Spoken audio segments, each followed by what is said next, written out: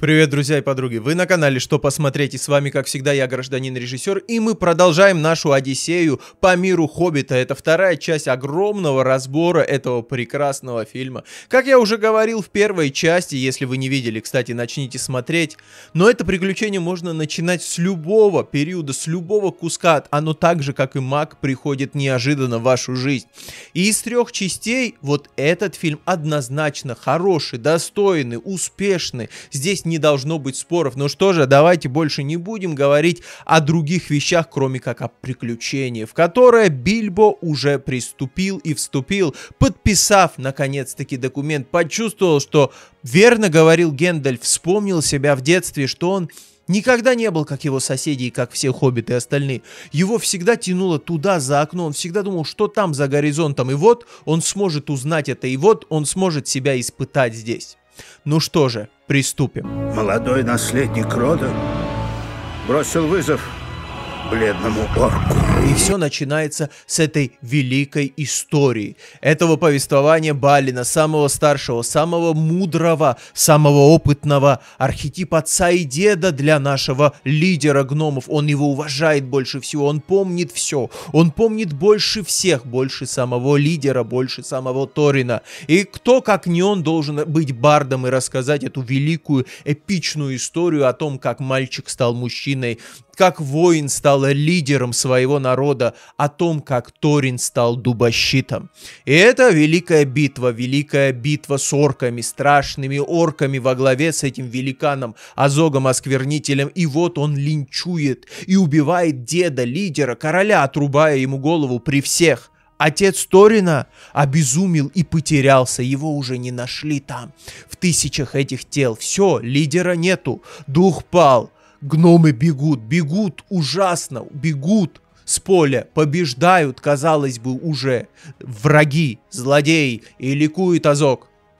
Но это тот самый момент, когда либо ты проявляешь себя, либо нет, либо Погибнет твой род и погибнет твой народ, либо ты покажешь, что ты истинный великий лидер. И здесь родился великий лидер. И именно там, как рассказывает Балин, каким своим бархатным, мощным, невероятным голосом. И здесь достаточно было бы просто даже рассказа его без картинок, без вставок. Хотя кино это язык визуальный, но здесь он так прекрасно рассказывал, что ты сам мог это все представить, но здесь тебе еще и показывают эту эпичную битву, эти кадры. И вот здесь, проявляя смекалку, Торин берет вот этот щит куска дуба из куска дуба и становится дубощитом. И самое главное, самое главное, что он переломил ход событий, переломил. Все уже отступили, моральный дух пал, но вдруг они видят, как вот он молодой внук, потерявший только что своего лидера, короля, потерявший отца, не пал духом перед Азогом, казалось бы, непобедимой махиной, просто он untouchable, его не, невозможно повредить. Он отрубает ему ту руку, карая его за деда. И Азог уже испуган, Азог со страхом на глазах, и его утаскивают с поля. И в этот момент, как они могли не пойти за таким лидером? Как они могли дальше бежать? Все развернулись и вступили в битву, и битва была побеждена. Благодаря ему и там родился он, великий лидер Торин. И потом эти кадры, сразу после рассказа Балина, где мы видим, как в глаза, как дети все гномы смотрят Торину. И ты понимаешь, почему они идут за тобой. Это нам рассказывают, чтобы мы понимали, почему он их лидер, почему они ему верят где он заработал этот авторитет и к чему это нас отсылает. Какая из великих легенд нам известная, вечная, здесь присутствует? История Давида и Голиафа. Конечно же, он Давид, тот самый Давид, который выступил против великана, махины Голиафа, это тот самый Азок. И что сделал Давид? Как он победил? Смекалкой. Маленький побеждает великана смекалкой. Вечная история, древний миф. Он во многих фольклорных сказаниях народов присутствует. Смекалкой. И он проявил смекалку. Он успел схватить этот кусок дерева и использовать его для защиты себя. Именно умом, интеллектом он побеждает здесь, используя смекалку. И что схоже также с историей именно царя Давида, почему именно это выбрана мной история. Потому что там он еще не царь.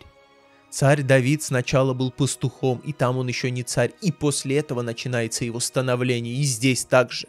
Понимаете, это метаморфоза, древняя история, древняя с античных времен история, как мальчик получает инициацию мужчины, взросление, а здесь вот ту самую инициацию он получил, но не просто повзрослев, он стал еще и лидером и правителем своего народа. Вот такой глубокий смысл в этой всей истории. О, у меня еще в запасе есть. Что нет, довольно. А теперь пропали вдруг пони. Пони нету. И вот гномы такие, ну давай, давай, наш дорогой вор, давай, покажи себя. И Бильбо очень важно, он только что услышал эту историю, он только что понял, сколь мотивированы эти ребята. И они верят в него, а он как бы ничего и не знает. Он как бы доверился сам также Гендальфу, бежит в приключения, чтобы просто понять, разобраться в себе все больше, что там за горизонтом, но он знает, что не обладает какими-то качествами, и ему надо доказать вот этому лидеру, вот этому лидеру Торину, и на этом будет выстроена вся арка до конца этого фильма. Поверит ли Торин в то, что он чего-то стоит или нет, потому что с самого начала он сомневается. Вы же знаете Торин, он верит только в свой народ. Он не верит в чужих людей, он не верит никого, все предавали всегда, эльфам не верит, никому не верит. Единственное, что заставило его взять, это слово Гендальфа. Уж больно высокого авторитета эта личность для него. И вот здесь, конечно, он хочет проявить себя, но он видит, что оба дерева снесены, сорваны, значит, там что-то большое. И вот три братца тролля, три тролля, как из сказки, появляются они, и это они украли пони. И Бильбо это не останавливает, он столь мотивирован показать, доказать гномам, что он что-то может, что он рискует. Он тихо пытается, и именно пытается сделать то, за что его взяли, быть том, тем самым вором и выкрасть обратно их пони. Но все получается иначе, его поймали. Я не буду вам перечислять и описывать, как там, там очень смешная сцена. Э, Парахоббит они его называют, тот думает, что выплюнул его из носа. Это смешно, это надо смотреть и слушать. Я буду говорить о смыслах, причинах, почему, а что почему. Почему, когда в этот момент Торин выбегает вместе со своими воинами, и когда они говорят, что они разорвут сейчас Хоббита, они кладут оружие. Там, если обратить важно внимание, все смотрят на Торина. Всегда все смотрят на Торина. Как он сделает, так сделают остальные. Он авторитет, он лидер. И Торин кладет меч, и надо увидеть в глазах шок и удивление. Они не верили, что он это сделает. Почему? Потому что для него семья превыше всего, как Торетто. Для него его народ превыше всего. Он бы не рисковал своими ради чужака. Как бы он там ни относился, у него нет этой сентиментальности. Ну что же, придется пожертвовать проводником. Почему он это сделал здесь? Потому что это его единственная, как Гендальф сказал, надежда вернуть дом. Он боится потерять его только потому, что он думает, что без него ничего не получится. Вот почему он рискует жизнями своего отряда. Никогда в жизни Торин этого не сделал, и отряду непонятно. А вот его истинная мотивация. Ну а дальше мы возвращаемся, заметьте, как здесь грамотно, опять же возвращаемся в ту самую историю. Маленького малыша и великана. И как маленький малыш снова должен обхитрить великана. Тут та же история, потому что Бильбо здесь проявляет себя, но иначе. Он начинает хитрить и обманывать троллей. Он начинает выдумывать нелепости, а наши, наша армия думает, что предатель, ах ты предатель, плюют в него. И только Торин догадывается в определенный момент, что это все для того, чтобы потянуть время. Потому что в это время уже Гендальф рядом, и он готов помочь, и Бильбо это заметил. И здесь снова история, как маленький хитростью великана побеждает. И здесь трех великанов он побеждает. И Гендальф, да, Гендальф не способен сделать так, чтобы солнце засветило. Как до этого, буквально за пару кадров до этого, Гендальфа просили, вы можете сделать так, чтобы дождь прошел, мистер Гендальф? Он говорит, дождь идет, как можно его отменить? Дождь, он сверху идет, мол, мои силы не влияют на законы природы этого мира. То есть глобальных вещей таких он не может сделать, но он может сделать кое-что. Например, расколоть ту глыбу, которая стояла за ними. А эта глыба закрывала то самое солнце. Они уже давно здесь поселились, здесь пещера. Вы скажете, почему тролли сидят до сих пор? Они точно знают, когда рассвет. И они точно знают, сколько времени они почему и стоят за этой глыбой. Сколько времени они могут здесь находиться, еще до полного поднятия солнца. Солнце же долго бы, медленно до полудня поднималось, но оно уже чуть-чуть взошло. Но Гэндальф ломает этот кусок, и они превращаются в камень. И снова малыш с Микалкой победил великана. Ум и интеллект победили силу. Второй раз. И здесь Торин пытается Гендальфу сказать, он думает, Гендальф был далеко, обесценить, сказать, ну вот, ничем не помог, мол, мы тут рисковали жизнью из-за твоего хоббита. А Гендальф-то все видел. Гендальфу всегда есть что ответить. Он говорит, это неправда. А кто тянул время, чтобы у меня все получилось? Это неправда. То есть он хочет сказать, неправда. Посмотри, он уже помог вашему путешествию. Он уже здесь проявляет себя. Просто ты не замечаешь пока этого. Или не хочешь замечать, потому что не доверяешь другим. Но ничего, все впереди. В этом а, и арка Торина, которая должна пройти до конца, когда он осознает, сколь важен был Бильбо. Но на этом история с троллями заканчивается. А это роскобельские кролики. Посмотрим, кто кого. А потом он, Ратагаст. Их было пятеро, вы знаете. Двое синие ушли на восток. И Гендальф не помнит, что с ними стало. Наш друг Гендальф. Третий. Дальше Саруман. Белый, которого вы все знаете. Ну и он. Невнятный. Как а Саруман о нем говорит безумец, отвратительный, мерзкий, противный Ратагаст. Ратагаст, он как часть леца, он как часть природы. За вот этим самым безумием, неряшливостью скрывается глубокая любовь самопожертвование. В нем сохранилось куда больше, чем в этом статном Сарумане. В статном, белом, чистом, стойком Сарумане. Саруман забыл многое. Он как бы сам принцип закона, но он забыл самое важное. Высшие принципы он утеряет. А в Ратагасте при всей его грязи сохранились они. И вот Ратагаст мчится, потому что тьма появилась, и он мчится донести Гендальфу. И он э, приезжает к Гендальфу, заставая их возле пещеры. А в пещере троллев они нашли те самые невероятные сокровища эльфийские, где будет подарен Бильбо тот самый клинок, который передастся потом его племяннику. И вот здесь Ратагаст рассказывает невероятную вещь. Ратагаст рассказывает, что зло пришло, что он отправился в Долгудурскую крепость. И там некромант, там зло, и Гендальф понимает всю опасность происходящего. Гендальф осознает и понимает, что это надо донести совету, донести тем, кто что-то решает, важнейшим людям Средиземья. И он с полной серьезностью относится к этим словам. Но перед тем, как я расскажу о главных принципов Ратагаста. Вот только что он уже мчался ради высшей цели, ради других, не ради себя. Перед тем, как сказать снова о его поступке, я расскажу, что значило вот это вдруг неожиданно в грязи, в пещере найдены ценнейшие артефакты эльфов. Что это такое? Это тот самый символизм, когда самое важное, самое ценное может находиться вот здесь, на самом пыльном грязном месте, и никто на него не обращает внимания. Все самое ценное бывает на виду. Оно не скрыто, оно вот здесь и сейчас. Это глаза, сокрытые у людей часто, и они проходят мимо. И вот здесь Ратагаст проявляет храбрость, смелость, великодушие, потому что что он делает? Появляются они, орки, армия орков. И он спасает отряд, говорит, я возьму на себя удар, я отвлеку их. И Гендальф переживает, как ты сможешь со своими кроликами, зайцами, со своей упряжкой. Он такой, не переживай, я возьму на себя. То есть он же рискует, он мог погибнуть, он не думает ни на секунду о себе, никогда не думает о своей шкуре, он думает о высшем благе, он готов вот здесь и сейчас рискнуть пожертвовать, но спасти других.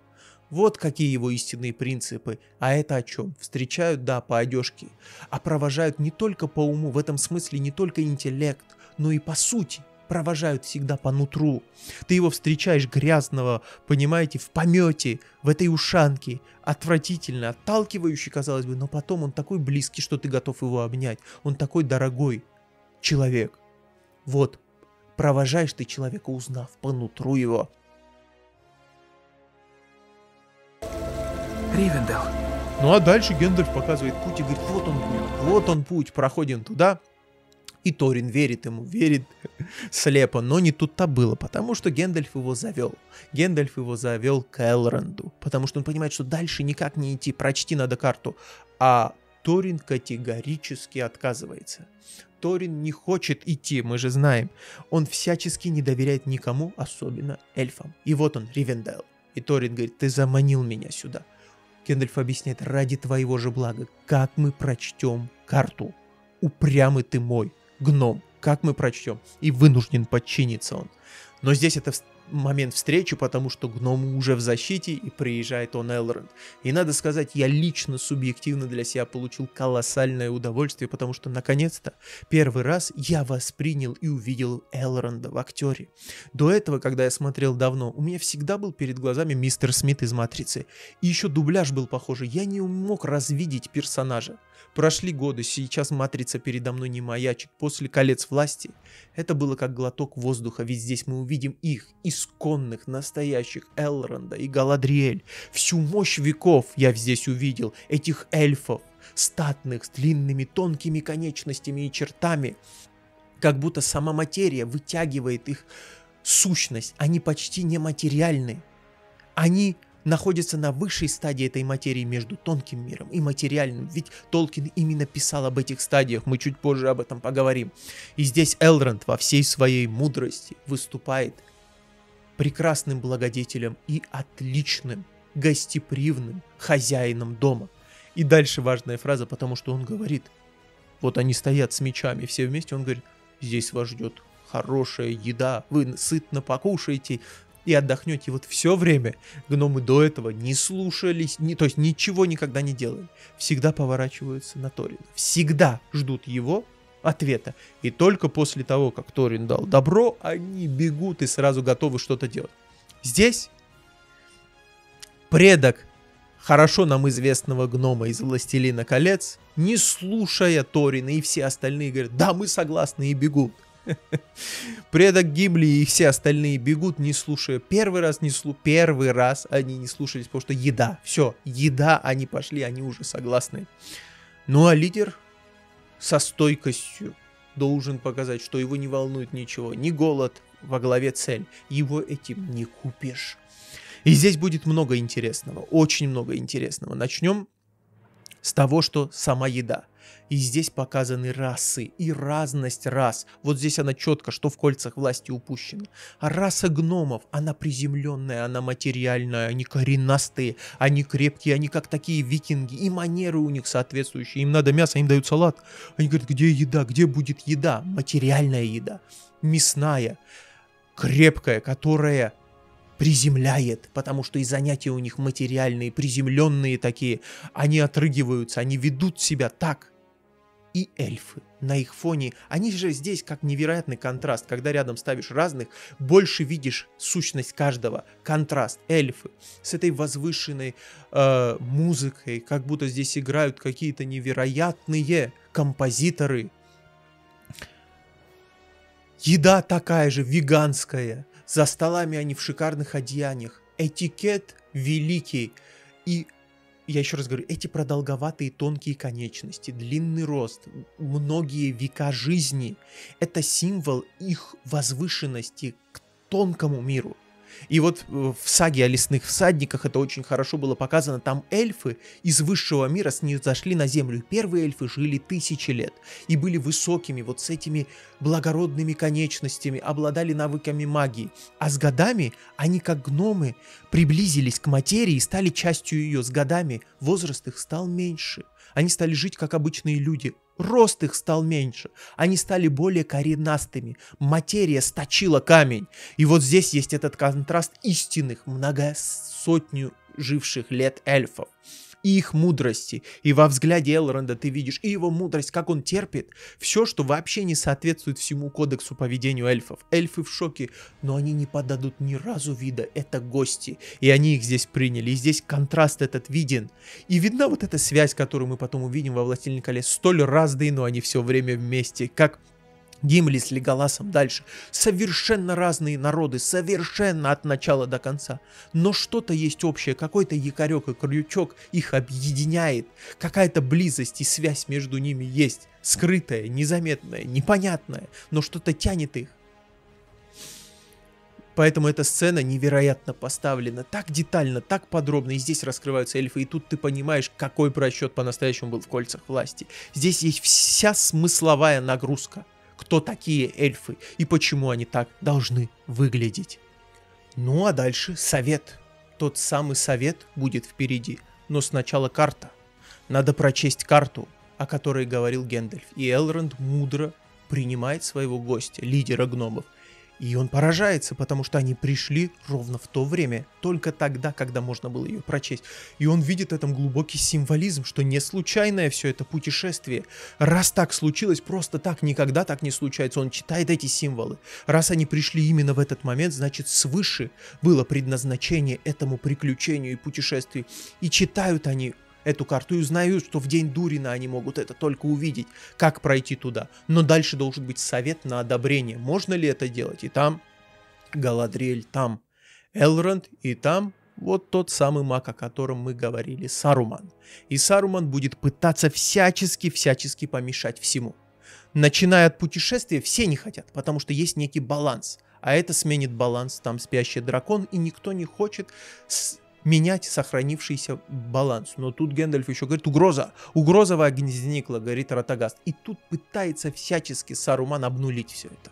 Всячески говорит, это бред. Он достает клинок, моргульский клинок. Он говорит, это бред, какой-то древний клинок. Что у нас по факту есть? Бредни сумасшедшего, какой-то гнилой клинок. Гендальф, успокойся, хватит заниматься чушь. Усыпляет внимание всех.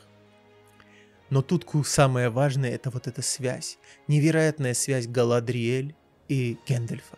Как она с ним мысленно общается в этот момент. И где ты видишь в ней вот эту мощь всех веков. Вот Элронд, он древний, но Галадриэль, она еще более древнее существо. Как ты во «Властелине колец» это чувствовал, так и здесь ты чувствуешь в ней какую-то невероятную силу чего-то потустороннего и мощного. Она даже за столом не сидит, она поотдаль стоит и общается общается интуитивно и слышит все, что происходит. И это такая, у них, знаете, это такая невероятная связь. И такая видна в глазах любовь, чувство любви.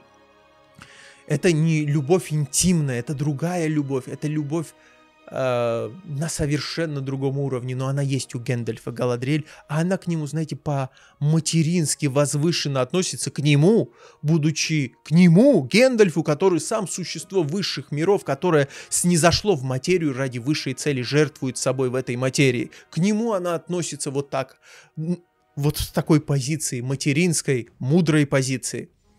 И она раскусила его. Она говорит, что Отряд же уже ушел. Торин получил то, что ему надо, и ушел. И Гэндальф это знал. И этот момент Галадриэль такая, ты же знал об этом. И его вот это лицо неповторимое, как Ян Макалин играет. Лицо, которое передает все на 100 миллионов процентов. Его даже не объяснишь, что это за э, мимика на лице в этот момент, но это невероятно. Он, знаете, как, знаете, как провинившийся ребенок так смотрит на мать, такой, да-да, который, знаете, что-то сделал и такой признается, да, да, я знал, я знал, но я упустил. Именно так он смотрит, как невероятно он отыгрывает и понимает, что играет. Этот актер, сцена фантастическая. А эти не понимают, эти там в своих политических делах сидят, думают, Элрон, размышляют об этом всем. Уже ушли, ушли они невероятная. Пересмотрите, если не смотрели. Эта сцена дорогого стоит. И здесь вот видна вся мощь, вся вечность и понимание Бланшет. Так играет Кейт Бланшет, не как эта актриса в «Кольцах власти». Понимание, какую сущность она играет, что она играет. Это не человек, еще раз повторю. Это мощная сцена. И дальше здесь есть еще две вещи. Два важных, отснятых отдельно диалога. Два важнейших отдельных диалога. Первый диалог – Элронда и Бильбо, а второй диалог Гендальфа и Галадриэль. И вот первый диалог Элронда и Бильбо где они общаются, и он интересуется, почему же он пошел в это путешествие. Хоббиты ведь они домоседы, и э, Бильбо дает понять, что не понимает его намерений, он издевается. Иногда вот вас, эльфов, не поймешь. То есть вы, вы что подразумеваете, говорят? Ты подкалываешь ли меня, да? Или что-то разузнать хочешь? Какие мотивы? И тут мудрец ничего не объясняет, дает понять свои мотивы и отношения к нему. Говорит важную вещь. В любое время можешь приходить сюда. Для тебя двери открыты, как дома. И когда-то, мы знаем, он придет сюда когда-то он придет сюда, обязательно. Это очень важная сцена, и она говорит, а вот это, я еще раз говорю, там так мало сцен, но так много мудрости эльфийской. В каждых фразах выдержано, и ты видишь, что это не человек разговаривает, это, говорит, существо, которое прожило столетия. Ты это понимаешь в их разговоре, в отличие от колец власти, ты это понимаешь. Это первая сцена. Митрандир. А вторая куда важнее, а Почему вторая куда Хогвартс? значимее, и сколько там смыслов. И я бился над этим моментом. Я не давала мне покоя ответа, то, что говорит Гендальф там. Потому что там вопрос, которым мы задавались с самого начала. Они говорят с Галадриэль, и есть уже эта связь между ними. И Галадриэль задается вопросом, почему Хоббит? Почему он? Почему он? Почему ты выбрал его? И ведь этот выбор в итоге и приведет к победе над кольцом. В итоге! Это нельзя было рассчитать, вот как Саруман хочет рассчитать практически, на чьей стороне сила. И помните, в «Кольцах власти» он говорит, все, в «Властелине» он говорит, что сила на той стороне, надо быть умными. Он материально взвешивает все. А как взвешивал Гендальф? И он здесь говорит, Я понял, что разные мелочи, житейские деяния простого люда помогают сдерживать тьму. Я, говорит, считаю, что сила бывает вот в этих простых существах, простых людях, делающих простые добрые дела. Я вижу в нем, когда я смотрю на него, у меня страх внутренний пропадает, который во мне есть. И я мучился, пытаясь объяснить это все-таки материально. Я понимаю, что это максимально в том-то и дело нелогичное, неразумное. Ее и не надо практически материально объяснять, потому что в этом и есть та какая-то внутренняя, тонкая, сердечная история, понимаете, которую логикой не объяснишь. Именно так выбирает это Гендальф, интуитивно, как высшее существо он это понимает. Но я пытался оформить это в материю, пытался донести. Я долго искал этого момента, и я нашел его. И я до конца понял, расшифровал слова Гендальфа, и сейчас скажу. На примере, на примере мне знакомого человека и становится все тогда на свои места понятно. Понятно, что имеется в виду. Здесь происходит этот контраст Сарумана и Гендальфа. А на примере человека, которого я очень хорошо знаю много лет, и когда он много лет назад со своей будущей женой, с кем они живут, много лет в браке, они еще были студентами, он с ней познакомился, и он, вопреки всякой логике, находясь в двух станциях метро от университета, ездил к ней полтора часа от университета, встречал ее, добирался с ней туда, хотя она была категорически говорила, не беспокойся, не переживай, и вечером провожал ее. И каждый раз, когда она говорила, это нелогично, ну зачем, потерпи, силы наберись, тебе приходится в 6 утра вставать. И он это делал на протяжении двух лет до их свадьбы. Но в этом и была его любовь. И с годами прошли годы, и он сказал своей жене, ты знаешь, как я неразумно делал словами Сарумана. Неразумно. Логично же было действительно встречать тебя на станции. Как же глупо я делал тогда. А потом прошло еще немножко времени. Он подошел к жене и сказал, ты знаешь, какой же я дурак стал. Я делал все правильно именно тогда. Какой же я глупец, когда начал все измерять и взвешивать материей. Ведь если бы не это, не было бы и большой любви. Ведь если бы не эти необъяснимые логикой поступки, не было бы ничего. Именно там и зародилась любовь. И вот об этом Гендальф говорит, что когда ты все взвешиваешь как Саруман, логично, с просчетом, расчетом, ничего не получится. Ты забываешь о чем-то более важном, о вечном, о любви. А любовь, она вопреки этой логике. Любовь — это жертвенность. Любовь — это что-то большее. Вот о чем он говорит, вот почему он выбрал Бильбо. Я был очень рад, что я все-таки добрался до конца, что смог облести в материю эту необлекаемую мысль, потому что она выше. И я думаю, что вот здесь во второй части, конечно, вот на этом и надо закончить. Я надеюсь, вам нравятся эти разборы. Я слышу, что нравится. Меня просили дальше делать разбор. Кто еще не подписан, подпишитесь. Кто подписан, проставьте колокольчик, чтобы именно когда эти ролики выходили, YouTube вам напомнил об этом. Мы продолжим это великое приключение. Я надеюсь, вам нравится. Пишите все в комментариях. Не скупитесь. Отнеситесь к этому, кстати говоря, как Гендальф к этому относится. Сердцем. Действуйте сердцем. Ну а вы были на канале «Что посмотреть?» И с вами был я, гражданин-режиссер. До скорых встреч. Пока.